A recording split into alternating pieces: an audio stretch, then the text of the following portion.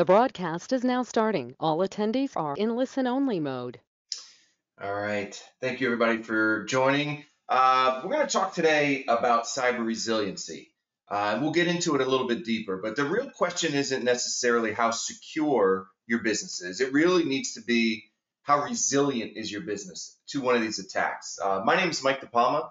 I'm the Senior Channel Development Manager for Datto. We are a backup disaster recovery company based out of Norwalk, Connecticut. So about 40 miles east of Manhattan.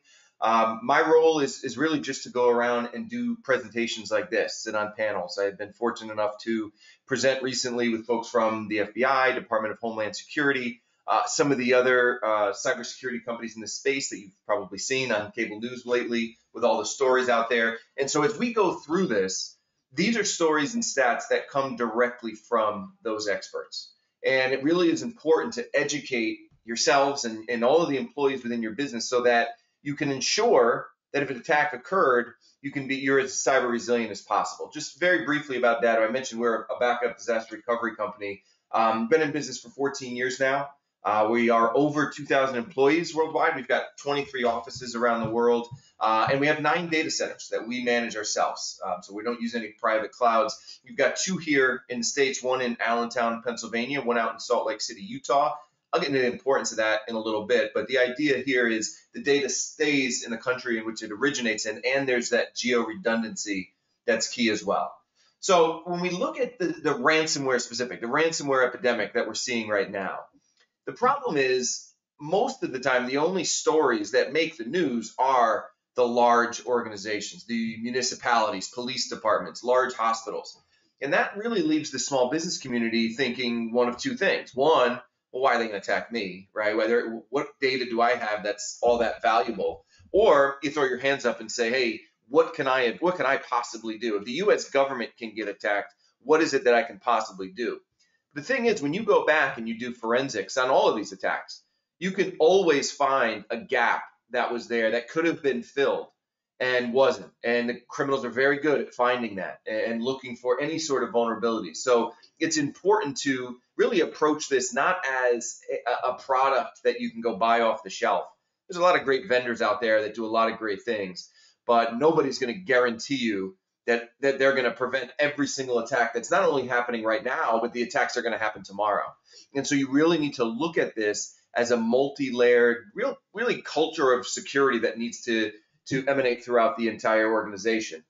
The reason I like the large stories though is because we get hard numbers. We find out that you know an insurance company down in Atlanta paid 40 million dollars in ransomware, the largest payment we've ever seen. Um, we saw the the recent attacks. Uh, that that occurred with the pipeline or the Kaseya attack. And what we see is that with the with the hard numbers, we really get to see what these impacts are. And when we look at examples like the city of Baltimore, right? They were hit back in in 2019, uh, and they were asked for what was essentially about $75,000 in ransom. Now that's not enough to break the bank of the city of Baltimore, right? Especially when we see these six, seven figure numbers being thrown around.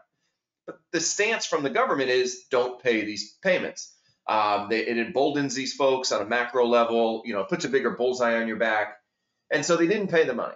And oh, by the way, they always ask for the money in some form of cryptocurrency because they know that if they, they ask for money in an ACH payment or a credit card payment, there's a chance that that can get tracked back to them. With these cryptocurrencies like Bitcoin, it's next to impossible to find out where that money is going once it leaves. So City of Baltimore doesn't pay. They go and remediate the problem. Again, huge, robust IT team. Um, you know, they can do this. And eventually they did get their systems all back up and running, but it took them weeks.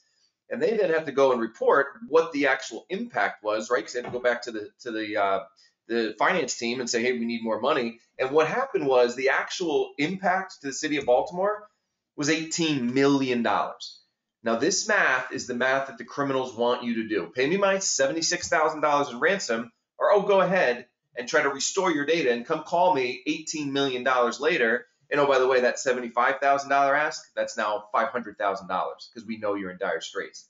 And so, you know, I mentioned the government stance on this, and they've always said it publicly. If you go watch them present, they've talked about not paying it. But last year, they actually came out with an official statement, the Treasury Department official advisory uh, specific to ransomware. And within that statement, they actually said that by paying the ransom, you're at risk of violating the law. Now, it's not illegal to pay a ransom payment. Somebody came in my house and stole my dog. I could pay that ransom, and that's not illegal. The reason why you're at risk of violating the law is because unfortunately, the folks that are a lot of times behind these attacks, they're terrorist organizations. They are enemy nation states. So by paying that ransom, you can inadvertently be funding these terrorist organizations, which clearly is against the law. Now, the statement doesn't have a ton of teeth to it because remember, it's almost impossible to figure out exactly where these are going, although they're getting better at it. And so once it leaves, it's very hard, but it does show you the direction that the government is going in. They've got a ton of regulations out there. Uh, but the problem is a lot of these these acts that have been passed, they don't help catch any of these guys. They don't help prevent any of the attacks. Really, what they're doing is they're shifting the burden over to you. They're shifting the burden over to the business community, saying that if you get attacked, hopefully you survive and you keep your doors open. But after that attack, we're going to come knocking on your door, and we want to see, first of all, on the front end, that you did everything possible. You checked off all the boxes to make sure you did everything you can to protect your data, your client data, your employee data and also, we're going to make sure that you didn't pay that ransom. And so it really falls on your lap to make sure these are all protected. Now, I mentioned one of the things that uh, the, one of the reasons why the government says not to, to pay the ransom is because it puts a bullseye on your back. Once you pay once, or once they find out that they can get through once, they're going to keep attacking you until the, you know until it dries up and you can show them that you're protected. And we saw that with the city of Baltimore. Yes, they they remediated all those issues. They got their systems up online but they didn't do anything to prevent that next attack. And so what happened in the fall of last year during all the craziness of remote learning, anybody that's got kids knows what that's like, uh, the, the school system was hit. We actually saw a lot of attacks on school systems last year. We actually saw an attack up here in Connecticut in the city of Hartford. Their public school system was hit two days before the opening day back in September. And they couldn't get it remediated in time. They couldn't get any of the systems. Obviously, with the remote learning and everything, they weren't allowed to do it with that hybrid model. And they didn't send an alert out until 5:30 in the morning on opening day. So there were parents dropped going to empty schools trying to drop their kids off. Uh, parents dropping their kids off at the bus stop. It's this chaos that it's creating. So again, eh, you know, once you pay that ransom, don't think that the fight is over. Um, they will continue to attack you. And I think it's important to understand who are behind these attacks it's not the guy in his basement anymore. There is a corporate structure to all of this. We saw that in the pipeline attack when they started digging into who was behind that, and you started hearing terms like ransomware as a service, um, something that sounded new, but it's something that folks like me in the IT industry have been preaching for five, six years now. We've known that this is the structure. What that means really is the really bright folks on the criminal side, they're creating the variants and essentially they just sell them off. It's almost like a franchise program. You can go on the dark web right now and buy a ransomware virus. And I call that the sales team. They're the ones going out and doing these attacks. There's even at some point uh, a, a, tech support system that says, oh, you don't have a Bitcoin account, don't worry about it. We'll walk you right through how to find your exchange, get it funded, get us our money as quickly as possible so we can unencrypt your data. It's important to know there are buildings on Earth right now where there are folks sitting around the, the water cooler talking about Game of Thrones or Euro Cup or whatever they're talking about. And when break time's over, they're going to go back and sit in their cubicle and just attack as many businesses as possible.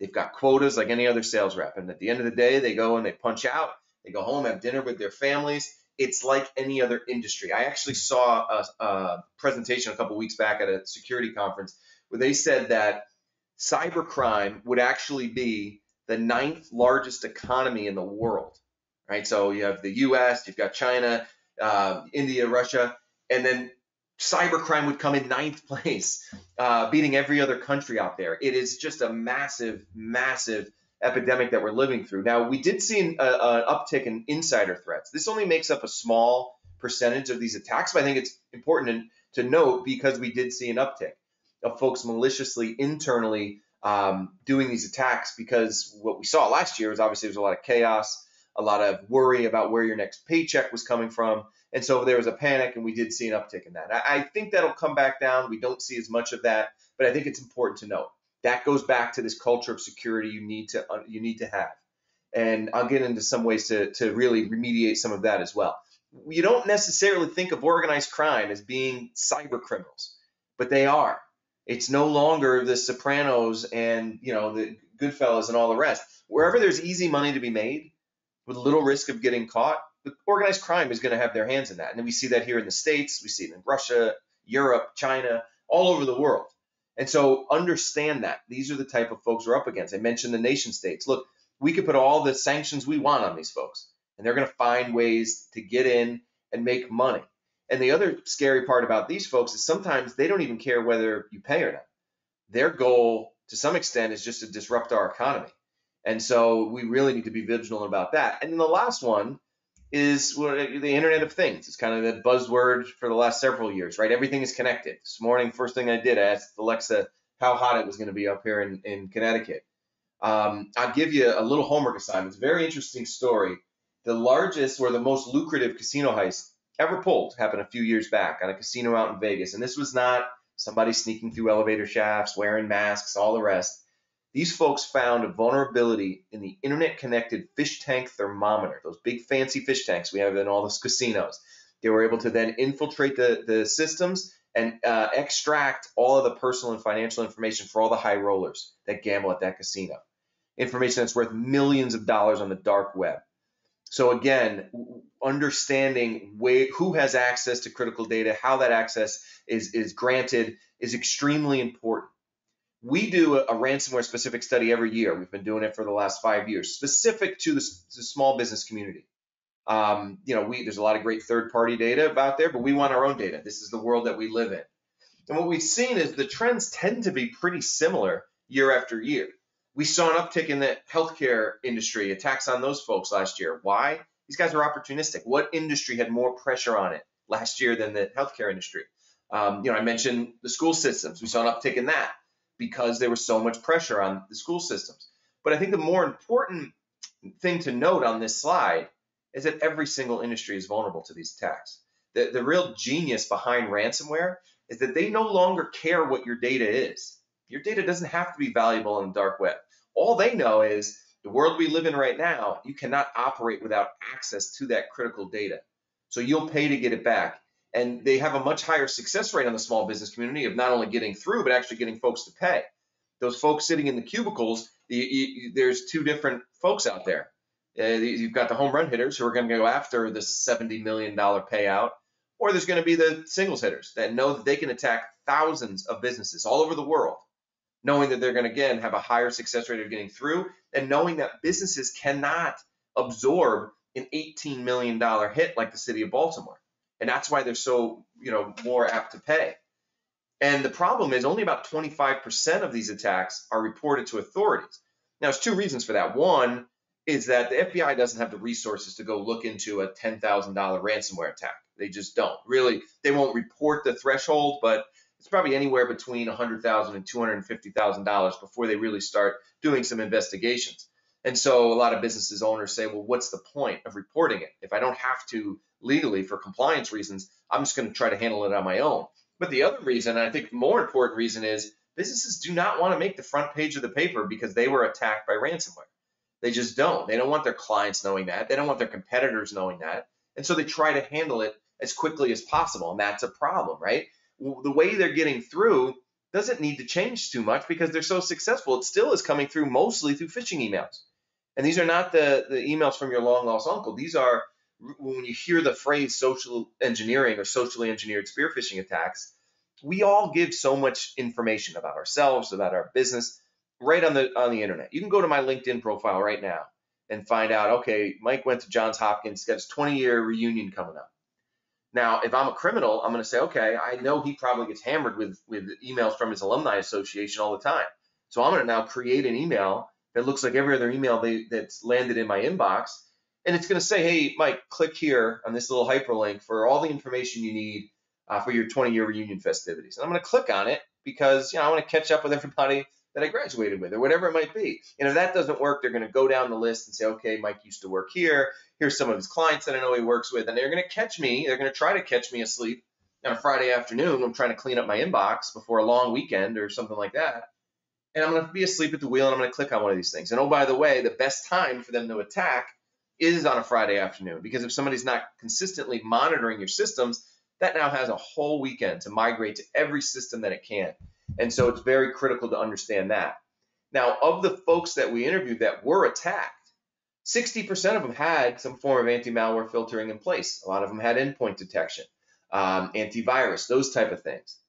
Doesn't mean you shouldn't have this. This needs to be part of your cybersecurity plan. But back to that idea of cyber resiliency, there's nothing out there that's going to be 100% foolproof. You could go back and watch uh, FBI Director Wray A couple months back, he had to testify in front of Congress about the attack on the, the, the U.S. government. He was being grilled on it, rightly so. But he was open in saying that there's there's nobody that can look you straight in the eye and say that you are 100% protected. Again, from uh, attacks that are happening now or happening down the road. And a lot of times that's because of user error. Um, the technology is great, but if somebody opens the door and lets them into the, the systems, whether it's maliciously or inadvertently, um, there's not much that they can do about it. So the question is, how quickly can you detect that one of these attacks got through, and then how resilient are you? How quickly can you not just get your data back, but really get back into a production environment so everybody has access to all the systems that they need? And I think that's critical to understand. Um, when we look at the actual impact, it's the loss of productivity. It's not the risk necessarily of never getting your data back. It's the length of time in which that takes. Backups are great, but they're only as good in the speed in which you can recover. Go and look at the pipeline. What was the real impact of that pipeline attack? It wasn't the idea that they were never going to get their systems up online or, or that they weren't going to get their data back. It was the length of time that it took. And it was over a week that they didn't have access. I, we still pay 330 a gallon up here in Connecticut that's directly uh, attached to that attack. So again, the ripple effects of this are not necessarily, hey, I'm never gonna get my data back. It's the length of time. And they, don't forget, they paid the ransom and they were still down for a week. That's really what we're looking at. And I can remember reporting on the findings of this report back in 2018. And the number, the average number uh, that we saw in payments of a ransomware attack on small business was only $4,300, right? Not enough to break the bank the average impact to a small business was 10 times higher, $46,000, right? Jumps off the screen at you. Look at where these numbers have gone. Right now in North America, the average ransomware attack cost a small business about $300,000. Now, I did a, uh, a panel recently with a gentleman from the uh, Department of Homeland Security. Their number is actually 1.6 million. Um, regardless of, of where you're at, these are the numbers we're talking about, six or seven figures. And on that panel, he also said that the average length of downtime, the average uh, length of time it takes a business to get fully back up and running after a ransomware attack is 16.2 days. So everybody listening to this webinar right now, um, you know, everybody's different. So there's one-man nonprofits all the way up to you know 200 seat law firms. It's all scalable, but this is the math they want you to do. If you're highly transactional, that number creeps up into the seven figures very, very quickly. So start to just think about what it would look like if you were down for 16 days. How many folks can survive that? And the scariest stat when all of this is that when we talk to business owners, only about 30% were very concerned about ransomware, despite the fact that we saw an uptick last year, despite the fact that it's a multi-billion dollar a year industry, seven in 10 business owners weren't doing anything different in 2021. That means for the criminals, 2021 is going to be a great year. Wait till we see the numbers uh, when the FBI starts reporting the numbers from uh, ransomware attacks towards the beginning of next year. They're going to be staggering. We've continued to see an uptick, and that's because this number is not changing. As a matter of fact, the, the number in 2019 was 41%. It's going in the wrong direction. I kind of take a little personal offense to that because this is all I do is go around doing these educational webinars, and maybe we need to change our messaging because this is the scary number here, that 30% number. We need to make this go up uh, because if you're not putting systems in place, or more importantly, just taking it seriously, then they know they're going to be successful because it's like anything else. They're going to go to the, the path of least resistance. And so they know this number, they're going to send out all these attacks knowing they're going to get a lot of low hanging fruit with very little effort to get in. And if you could show them that not only do you have protections on the front end, but if you are attacked, you don't have to pay the ransom because you're resilient, they're going to move on to the next victim. Right? It's a volume based attack system that they have in place. And so the real question when you're looking at cyber resiliency is two different things. The, we could acronym me to death, but the two important ones here are your recovery point objective, the star on the left, and the recovery time objective, the star on the right. So disaster strikes. It could be a hurricane. It could be a hardware failure, whatever happens. The left-hand side of the screen really looks at, okay, well, how much data am I at risk of losing? That's sim simply put, how often am I taking my backups? Are they daily? Okay, I'm telling myself so my RPO of a day is, is okay. And that could be fine. You could be in a business where losing a day's worth of data doesn't break the bank. Some other folks needs to be every hour, every half hour, every 15 minutes. But you have to be able to answer that question. The criminals know that most businesses are backing up their data in some form or fashion, right? Even if it's with an antiquated tape system or something like that. So the idea there is if their only piece of leverage is that they've got your data, they, it would not be a multi-billion dollar year industry because folks can get their data back with some you know help from outside uh, folks like Link High or, or, or, others. So the real question is that right hand side of the screen. This is your recovery time objective. That's great. You're going to get your data back. How long will it take you to get that data back? Can you answer that question? And is it aggressive enough for you? Would it take you a day, a week, 16.2 days, longer? Uh, you need to be able to answer that question. The one takeaway from this is to go and take a look at what you have. And most folks have never done uh, any form of true disaster test, disaster recovery plan in place that they can answer that question. But that is the critical piece here, is to understand what that length of downtime, so that when they come and they they, they ask you for money, you could start doing that math in your head and say, well, I know I'll be back in eight hours, so I don't need to go pay this ransom. I'm going to be back up online. Now, when we talk about continuity of operations, this is the way we win this fight. And really, what that gets into is look, technology is, is evolving extremely fast, right? The, the cliche term in the in the technology space is that technology accelerated 10 years in a matter of 10 months last year out of necessity, right? We all needed to be agile and work remotely, and that's all great.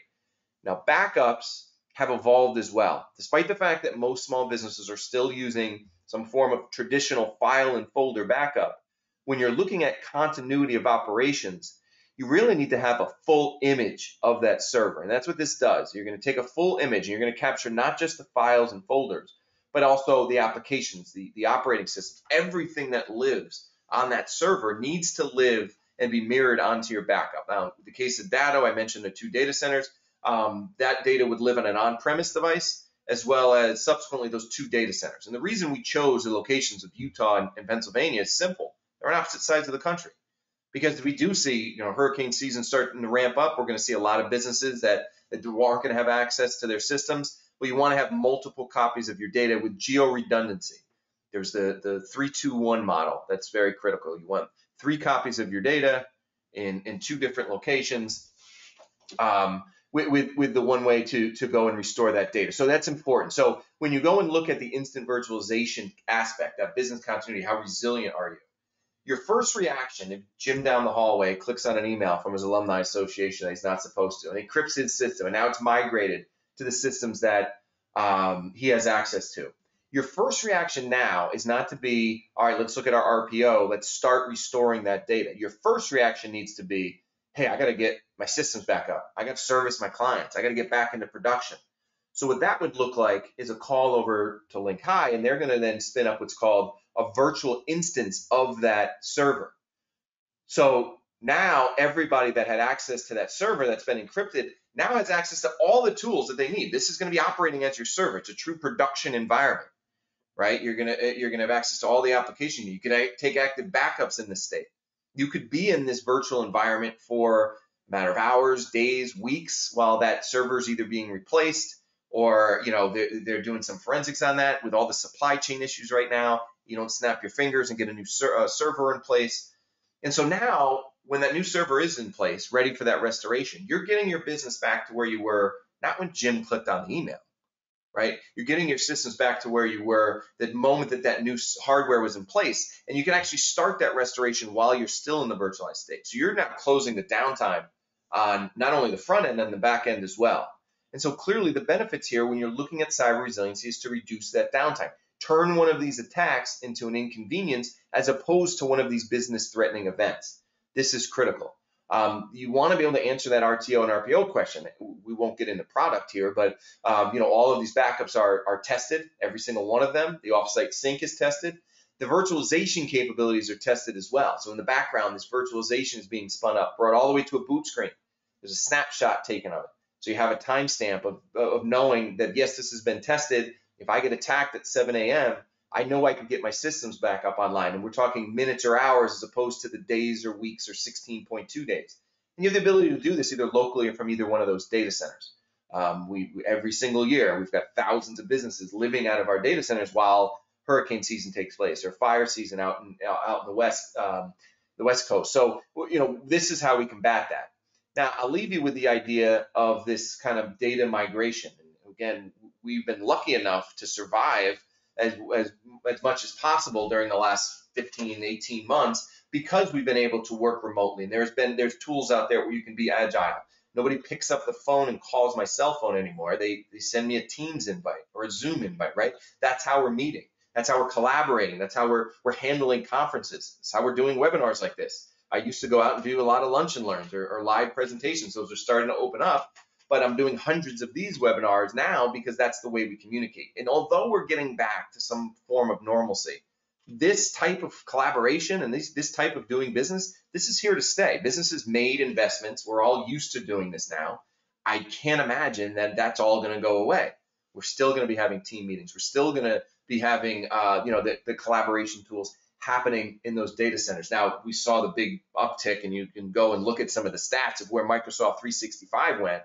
Um, but it's important to note that those systems are vulnerable as well. Within that ransom report, a quarter of those managed service providers that we talked to had clients who were attacked.